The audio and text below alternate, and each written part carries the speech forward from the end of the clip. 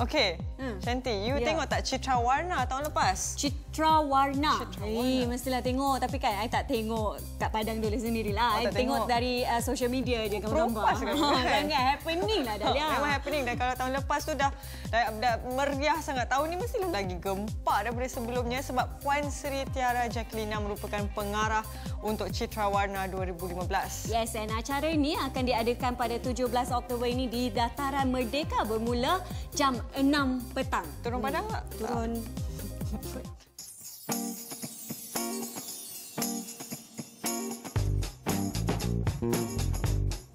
Bersama saya Puan Sri Tiara Jakina. How are you? I'm very well, thank you, Nina. okay, now let's talk about Citra Warna. Um, how, okay, apa bezanya Citra Warna tahun ini berbanding tahun yang lalu?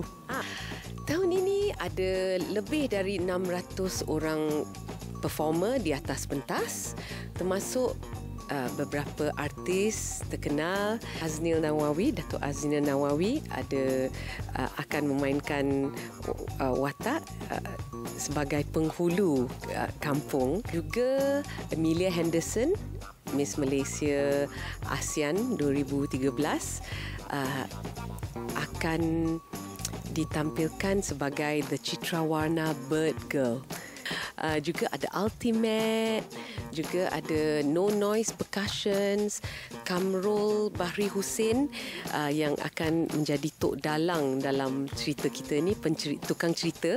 Dan pentas ini pun separuh besarnya dari uh, it's a half a football field besar dia.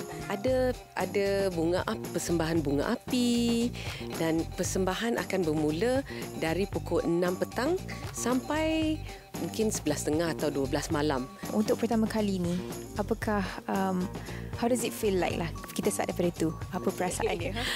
well, um, it's I've always worked very closely Uh, sebagai seorang producer dulu saya sentiasa bekerjasama bekerja dengan begitu rapat dengan sesiapa yang mengarah lah so I'm always involved saya sentiasa terlibat dalam creative process uh, dan dah lama saya terfikir untuk beralih arah uh, you know as a transition in my career kepada um, mengarah.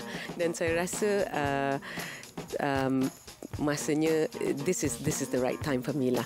So uh, I'm really really enjoying this process being in the director's chair uh, and not having to worry about being a producer